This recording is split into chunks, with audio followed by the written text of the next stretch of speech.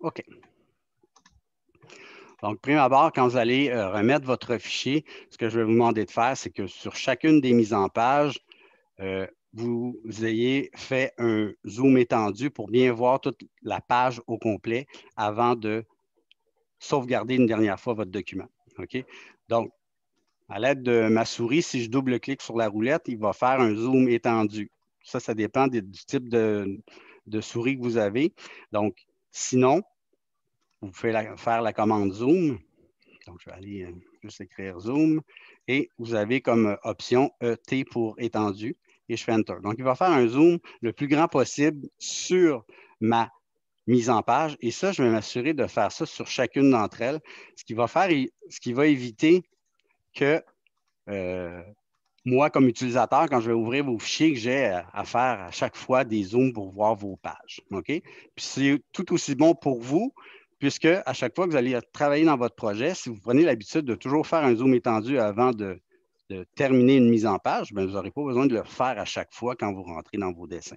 Donc, je m'assure de faire un zoom étendu pour bien voir toute ma page avant de finaliser la chose. Donc, au plan d'aménagement, j'aimerais euh, rajouter mes bulles de titre, en fait, mes bulles de pièces, euh, dans lesquelles je vais retrouver le nom de la, pièce, évidemment, le numéro de la pièce, la superficie, puis les grandes dimensions. Évidemment, il y a des pièces qui vont être euh, avec un contour irrégulier. Ce n'est pas tout le temps des rectangles, ce n'est pas tout le temps des carrés, nos, nos pièces. Donc, on va indiquer les grandes dimensions. On va faire euh, abstraction là, des, euh, formes en L. Donc, on donne la plus grande dimension en hauteur, en largeur. Donc, c'est ce que j'ai inscrit ici, là, 10 pieds par 15 pieds. J'ai 10 pieds en hauteur, 15 pieds en largeur. Puis la superficie, petit truc rapide. Si vous remarquez, j'ai des, euh, lignes en magenta dessinées dans, dans mes pièces. Eh c'est en fait des polylignes que j'ai créées. Et j'ai utilisé le calque superficie. Donc, si j'ai dans ma liste, dans la première section, vous avez superficie ici. Ce calque-là ne s'imprime pas. Donc, si jamais vous oubliez de l'éteindre et vous faites un PDF, vous imprimez vos pages, faites-vous-en pas, il ne s'imprime pas ce calque-là, à même titre que les calques d'F-Point et euh, compagnie. Donc, on a attribué la propriété à ce calque-là. On lui a dit, OK, ce calque-là, je ne veux pas qu'il s'imprime jamais. Donc, mes lignes, qu'ils soient là, qu'ils ne soient pas là, ça ne change rien pour l'impression. Par contre, moi, bien souvent, je vais les éteindre une fois que j'en ai terminé. Pourquoi? Parce que si je viens montrer mon, plan à, mon client, peu importe à l'écran, ben, je ne veux pas avoir ces lignes-là. Ils, vont me demander Ah, mais c'est comment ça que j'ai une ligne là? Ça sert à quoi? C'est quoi cet élément-là? Ben, c'est en fait des lignes qui viennent euh, distinguer délimiter les zones que, que j'attribue à chacune des fonctions de mes pièces. On s'entend qu'entre mon entrée et mon séjour, je n'ai pas, de, pas de séparation physique. Donc, il faut que je détermine où s'arrête ma superficie pour faire mon calcul. Donc, j'ai déterminé que moi, ma superficie ça, s'arrêtait avec mon, mur intérieur ici, mais j'ai tracé une ligne au contour. Donc, j'ai tout simplement utilisé la commande polyligne puis je suis venu dessiner une polyligne au contour de ma pièce. Donc, je viens tracer ma polyligne. Une fois qu'elle est faite, je peux calculer la superficie avec la commande. Je l'écris au clavier. Il n'y a pas de petit logo. Cherchez-en pas, il n'y en a pas. Donc, je vais faire R, A-I-R-E, et je fais Enter. Je vais utiliser l'option Objet, donc O pour Objet, et je vais sélectionner ma polyligne automatiquement, il va m'indiquer la superficie. Donc, euh, l'écran, j'ai mon petit tableau de mon petit tableau de, de zoom qui est par-dessus. Donc, je ne le vois pas, je vais juste le monter. OK, je recommence.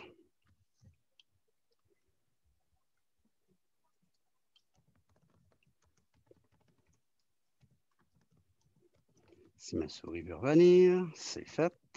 On a tout le temps des petits décalages avec Zoom. OK, donc je recommence AIRE, O pour objet, et je viens sélectionner ma polyligne. Donc, automatiquement, il va m'indiquer la superficie en pouces carrés, en pieds carrés, donc 115 pieds, 0.5.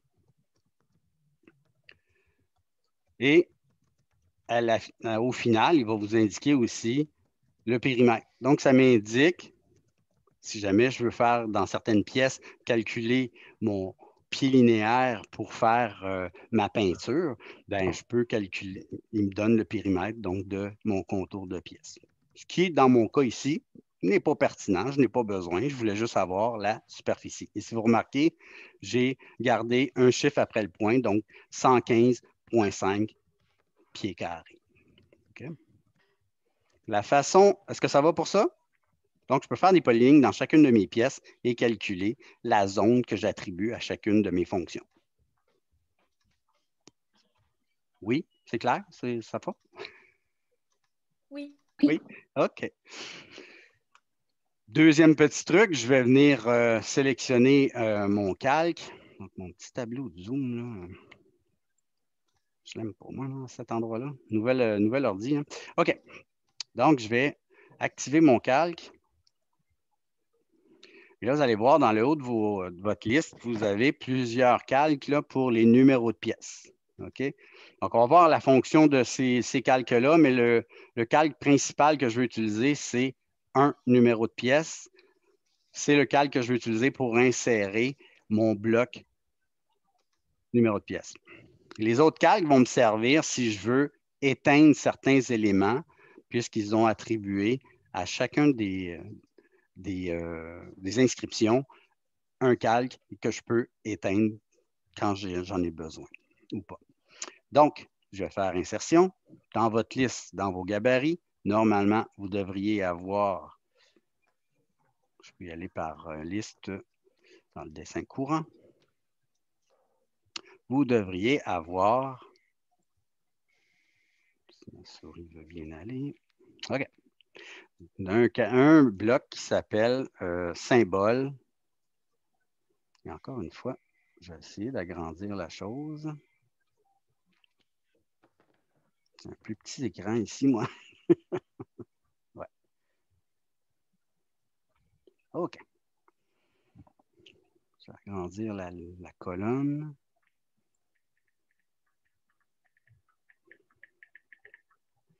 Donc, normalement, je devrais avoir un bloc qui s'appelle numéro de pièce, qui devrait être ici, je crois. Oui.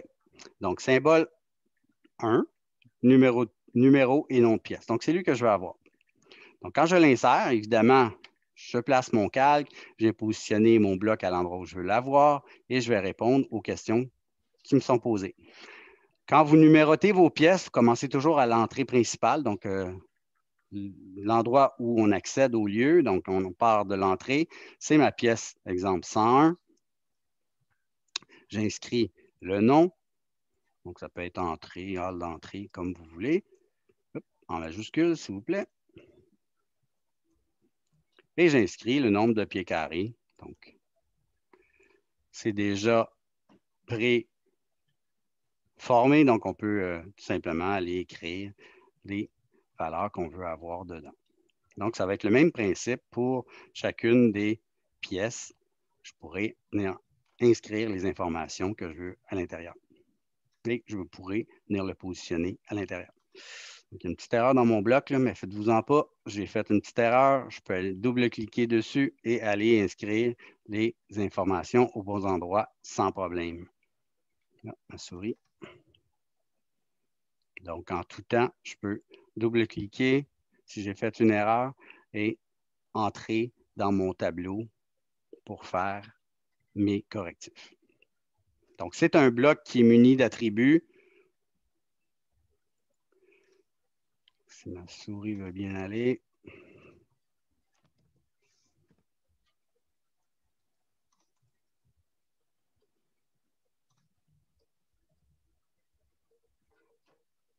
Voilà. Et je peux retourner à l'intérieur pour aller changer ce que je veux à l'intérieur et apporter les correctifs. Un petit lag ici. Donc, on n'est pas à l'abri. on n'est pas à l'abri des, des lags avec Zoom. On est à distance. Nouveaux ordi en déménagement, tout va bien. Il s'agit de garder le moral, ça devrait bien aller. Donc, on doit, au final, numéroter chacune des pièces. OK. Donc, je suis parti avec la première. Ici, c'est 101. Et la façon de faire pour les numéroter, donc toujours dans le sens des aiguilles d'une montre, ben, je pars de l'entrée. La deuxième pièce, 102, 103, 104, 105, 106, etc. Donc, si j'en ai une dizaine, ben, je fais toujours la tournée de mes pièces dans le sens des aiguilles d'une montre en partant de l'entrée comme étant ma pièce initiale. Est-ce que ça va pour tout le monde? Oui. Oui. Dans mon... Euh, et ça, ces informations-là, c'est toujours en mode objet qu'on va venir les, euh, les placer. Pourquoi? Parce que si je mets les informations sur le papier, dans, les autres groupes, on m'a posé la question, ouais, euh, est-ce que je peux les mettre sur papier, euh, ces éléments-là, vu que c'est juste sur ce plan-là que je veux le faire? La première des choses, les, nouvelles pièces vont être nommées non seulement pour le plan d'aménagement, mais si je continuais le jeu de plans euh, par la suite, j'aurais un plan de construction, un plan de besoin électrique, un plan d'éclairage, etc. Donc, cette numérotation-là va être bonne pour tous les autres plans et je ne veux pas avoir à les nommer à chaque fois. Je ne le mets pas sur papier parce que si je déplace mon plan, ben, tout ce qui est sur papier ne suivra pas le plan. Donc, dites-vous, gardez en tête toujours, quand vous avez des éléments qui euh, sont liés au plan directement, euh, je vais les placer en mode objet, de sorte que si je fais un, zoom ou je déplace mon plan, ben, je veux que les informations suivent mon plan. Je vais mettre sur le papier les notes générales, les bulles de titre, le cartouche. C'est pas mal tout ce que je vais mettre sur le papier. Le reste, ça va aller directement dans ma fenêtre de présentation ou en mode objet directement. Est-ce que ça va pour la distinction entre les éléments qui sont sur papier et en mode objet? Bien sûr. D'accord. Pour la gestion de calque, donc là, présentement, c'est une gestion de calque qu'on fait de façon manuelle pour ce, pour ce projet-là. D'accord? On va tout simplement s'assurer que dans chacune de mes mises en page, donc là, j'en ai deux, plan de démolition et plan d'aménagement, c'est dans ces deux-là que j'ai une gestion de calque à faire.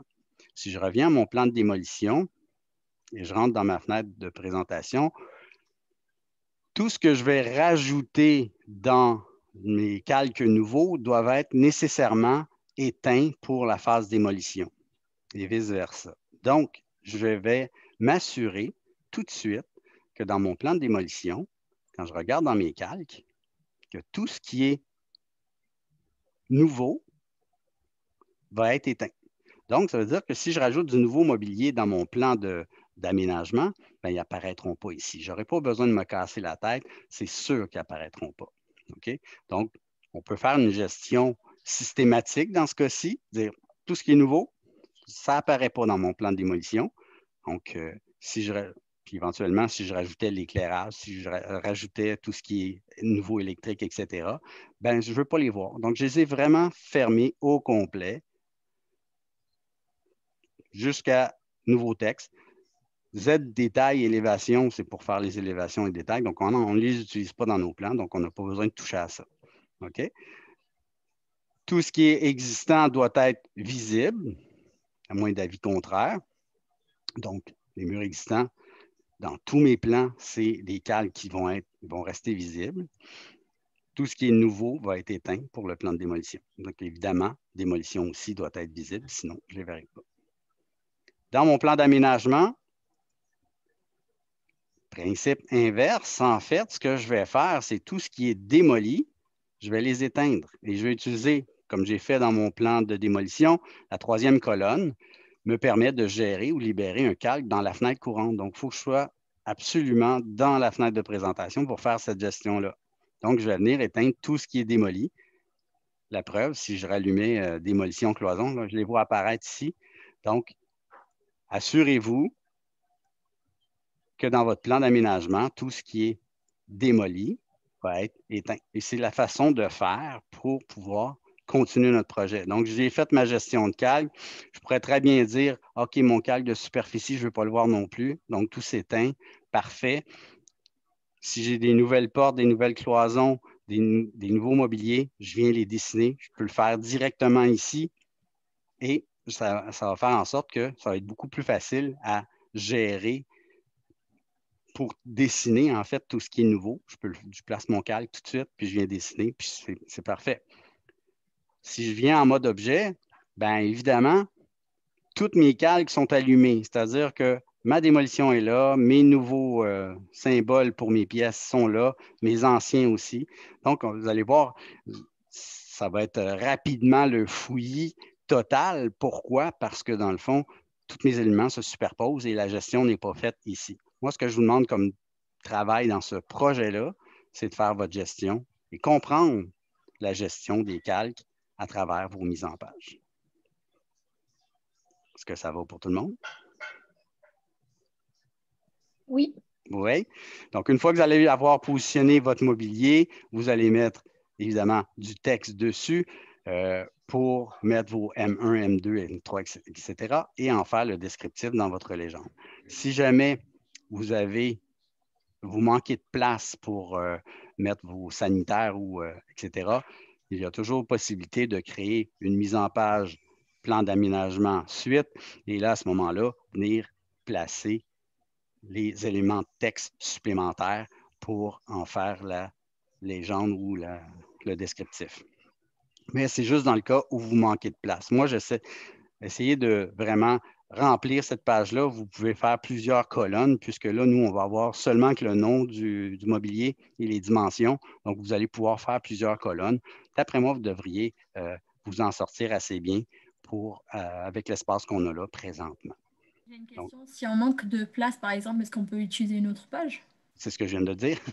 Mais je vais garder ça en dernier recours, honnêtement. OK, non, pas de problème. Donc, en dernier recours, oui, on, peut rajouter une page. Donc, on duplique la page. On peut supprimer le plan, puisqu'on ne veut pas le voir sur une deuxième page.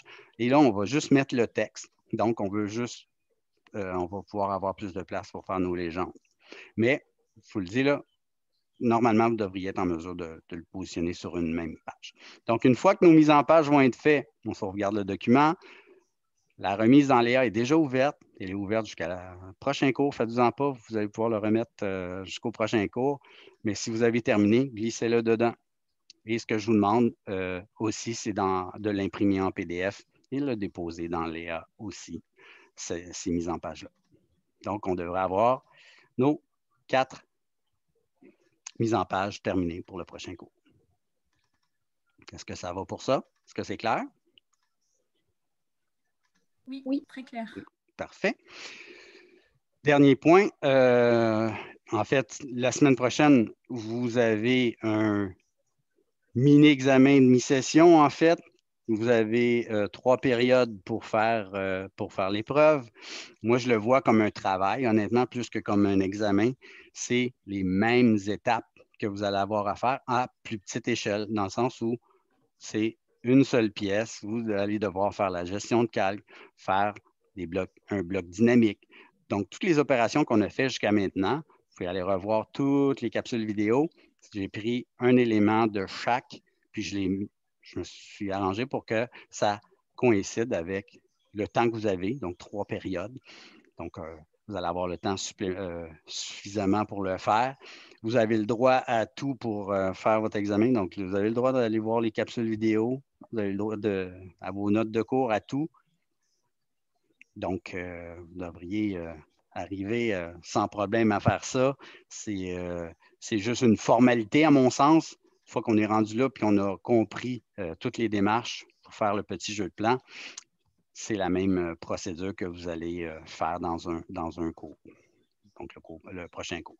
Donc, si vous voulez vous pratiquer, ben, l'idée, c'est de terminer ce jeu de plan-là, aller revoir vos, paramètres dynamiques pour faire vos blocs dynamiques. Puis, donc, voilà ce que vous avez à, à préparer pour le prochain cours. Questions, insultes ou autres? Moi, j'avais une question.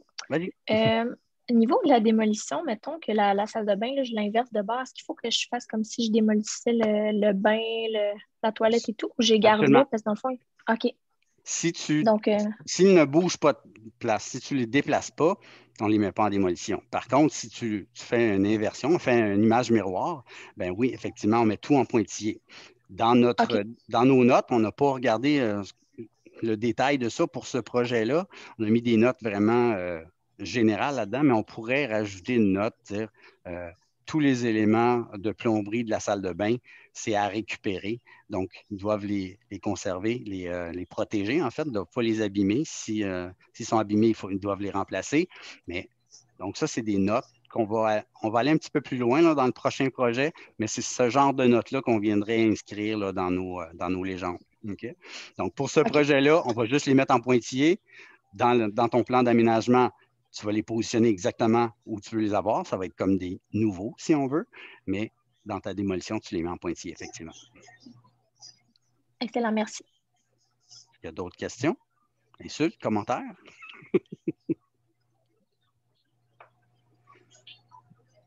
Ça va pour tout le monde. Donc, ce que je vais faire, comme à l'habitude, je vais arrêter la séance Zoom. C'est une petite capsule euh, euh, résumée aujourd'hui. Ce n'est pas très long.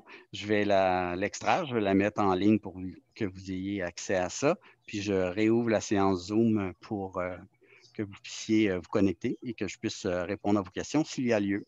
Assurez-vous de vous reconnecter si vous voulez profiter de, la période de questions. Puis la période de questions, c'est vraiment tout. Hein. Ça peut être euh, des blocs dynamiques, ça peut être euh, tous les questionnements que vous avez préparatoires à votre épreuve la semaine prochaine. Ça va pour tout le monde? Oui. Super. À tantôt alors.